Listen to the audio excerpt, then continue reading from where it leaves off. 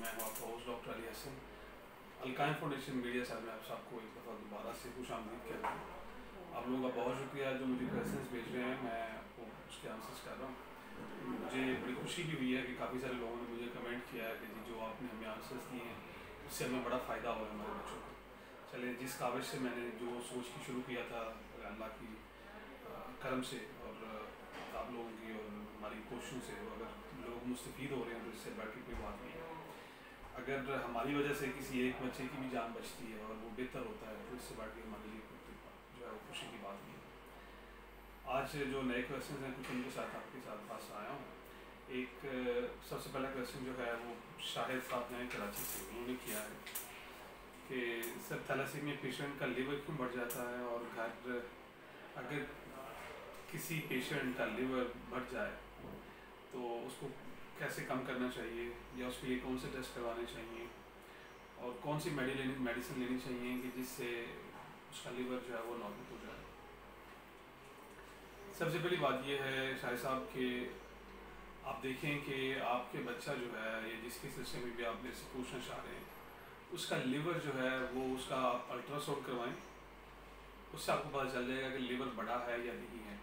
हर दो से तीन माह के बाद आप लिवर जो है वो टोटल एबडामिन अल्ट्रासाउंड ज़रूर करवाया करें। उसके बाद जो है, आप बच्चे की एच बी आठ से नीचे ना आने दें। अगर आठ से नीचे आएगी तो फिर तेरी बढ़ेगी।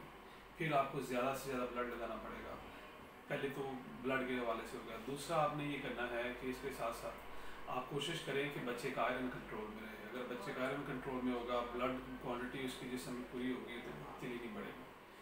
तीसरी चीज़ ये है कि आप जो जो लोग जो हैं, जो जिनके बच्चों को मसला है, थैलेसीमिया का, जिनको ब्लड ट्रांसफ्यूज हो रही हैं, किसी भी बीमारी में मुबतला हो उन्हें ये चाहिए कि अपने बच्चे को सबसे पहले वैक्सीनेट करवाएँ पाँच चीज़ों के against pneumococcal meningococcal H influenza B viral influenza और हेपेटाइटिस बी इनकी वैक्सीन कराएँ, उसके बाद जो है वो फर्दर जो ब्लड ट्रांसफ्यूज हैं वो लें। साथ में जो है वो अगर स्पेसिफिक मेडिसिन वो यूज़ करेंगे, अगर वो जो लिवर डिटॉक्सीफायर्स यूज़ करेंगे तो लिवर में से जैसे ही टॉक्सिन लेवल कम होता जाएगा लिवर का साइज़ नॉर्मल हो जाएगा। ठीक है? इसके अलावा आप क्या कर सकते हैं, इसके अलावा आप वाइटामिन थेरेपी लें, इसके अलावा आप जो भी नेचुरल डिटॉक्सीफायर्स हैं, वो लें, इंशाल्लाह जो है वो लिवर नॉर्मल हो जाएगा। और कई बच्चों में ऐसा भी देखा गया है कि अगर उनकी वैक्सीनेशन की जाए तो उनका भी लिवर और स्क्रीन नॉर्मल हो जाते हैं। वजह ये होती है कि उनकी बॉडी में कोई इशू चल रहा होता है जो हम उनको जब देते हैं वैक्सीनेशन तो उससे वो चीज़ें नॉर्मल हो जाती हैं। अगले क्वेश्चन की तरह मूव करते हैं। असद खान अटक से। अलैक्म सर सर, कितने परसेंट मैचिंग पे बोन मैरो ट्रांसप्लांट हो सकता है और 50 परसेंट पे कोई ख़तरे वाली बात तो नहीं होती? आपका अगर, जिसे कहते हैं कि 100 परसेंट मैच हो तो तब भी ख़तरा है, ठीक है? टेन टेन एक परसेंट आप कह सकते हैं कि उस वक्त भी खतरा है। जो हैप्लो आइडेंटिकल है या फिफ्टी परसेंट मैच है तो इस पर भी खतरा है, ठीक है? लेकिन जो है ना, आप ये नहीं कह सकते कि ये खतरा है तो उसकी वजह से हम करा नहीं सकते, या हमें कराना नहीं है। आपको कराना चाहिए। देखना ये है कि आपके बच्चे का डी क्या आता है? ठीक है? फिफ्टी परसेंट अगर मैच हो तो ट्रांसप्लांट हो सकता है। जैसे आपने पूछा कि कितने परसेंट भी हो सकता है ट्रांसप्लांट हो सकता है। फिफ्टी परसेंट पे ट्रांसप्लांट हो सकता है और हंड्रेड परसेंट पे भी हो सकता है। खतरा जो है वो डी एस ए करवा के आपने देखना है डोनर स्पेसिफिक एंटीबॉडीज अगर वो पॉजिटिव आ जाती हैं तो फिर जो है उसमें देखना है कि टाइटर अगर उसका जो है उसकी मकदार दो हज़ार आई पर एम से ज़्यादा है तो फिर आप उसको जो है ना वो पेशेंट को देखें कि उसकी बाकी को कॉम्प्लिकेशन तो नहीं है। या उसको लिवर फाइब्रोसिस तो नहीं है, अगर लिवर फाइब्रोसिस है तो फिर उसमें जो है ना वो आपने देखना है। अगर वो ग्रेड टू में फॉल करें, सारा जो पेशेंट है तो कोई ख़तरा नहीं है। अगर वो ग्रेड थ्री में जाता है तो फिर बिल्कुल ट्रांसप्लांट की तरफ़ न जाए।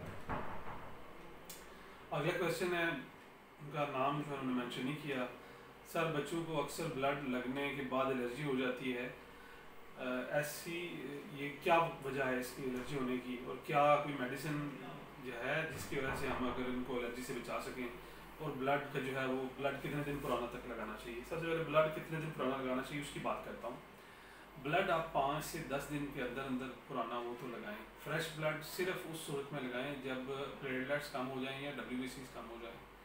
या उसके लीवर पे थोड़ा बहुत इफ़ेक्ट हो तो, तो तब आप जो है वो फ्रेश ब्लड दे सकते हैं। अदरवाइज़ आपको रिकमेंडेड है कि पाँच से दस दिन पुराना ब्लड आप लगाएँ। इससे ज़्यादा पुराना ब्लड ना लगाएँ।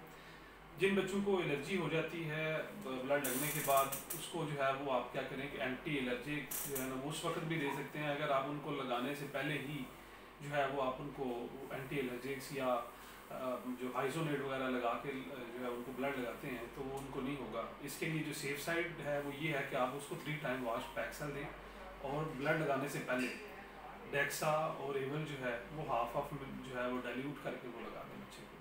या उसकी वेट और एज के हिसाब से उसको लगा दें उसको एलर्जी भी नहीं होगी और उसको ब्लड का स्पैन भी बढ़ जाएगा। अगला क्वेश्चन है मिस मंतिशा फातिमा कराची से। उन्होंने अपनी रिपोर्ट्स मुझे सेंड किए हैं और पूछा है कि सामकुम सर मैं, मेरा क्वेश्चन है कि मैं अक्सर मैंने देखा है कि किसी की स्प्रीन बढ़ जाती है तो पेट भी बढ़ जाता है। लेकिन मेरी स्प्रीन बढ़ी हुई है, लेकिन मेरा पेट नहीं बढ़ा। स्प्लीन का कोई ऐसा इलाज है कि मेरी स्प्लीन कम हो जाए और मुझे ऑपरेशन ना कराना पड़े? बेटा मंशा बात से ये है कि जिन लोगों की स्प्लीन जो है वो इंटरनल मार्जिन से बढ़ती है, वो जो है वो अंदर की तरफ़ पेट में जाएगी, जैसे कि आपको, उससे पेट नहीं बढ़ेगा। जिनकी जो है वो बहुत ज़्यादा फैलती जाएगी और बाहर ऐसे जो एक्सटर्नल मार्जिन है, वहाँ से इंक्रीज होगी तो फिर वहाँ पे जो है वो पेट उसका ज़्यादा बाहर आना शुरू हो जाएगा। दूसरी चीज़ ये है कि अगर आपकी एज ज़्यादा होगी तो तब भी आपका पेट आपको इतना नहीं लगेगा, दूसरों की नस्बत ठीक है? क्योंकि वो जो एबडोमिनल स्पेस है वो ज़्यादा हो जाती है एज के साथ साथ। दूसरा मैंने आपकी रिपोर्ट सारी देखी हैं रिपोर्ट्स अलहमदिल्ला ओके हैं। आप बेटा एक तो ये करें कि अपना प्रॉपर डिटॉक्सिफिकेशन कराएँ। आपने जो डिटॉक्सीफाइंग एजेंट्स हैं वो अपनी डाइट में भी लें। वो आप, ऐसा करें कि जिसको आप वाइटामिन थेरेपी लें जिसमें वाइटामिन सी ये बात बहुत अच्छा डिटॉक्सीफायर है। वाइटामिन ई इवियन और सी कॉन के नाम से। जो आती है टैबलेट भी आती है सिरप भी है और ड्रॉप्स भी हैं। अगर ड्रॉप्स लेने हैं तो पाँच से दस कतरे लें।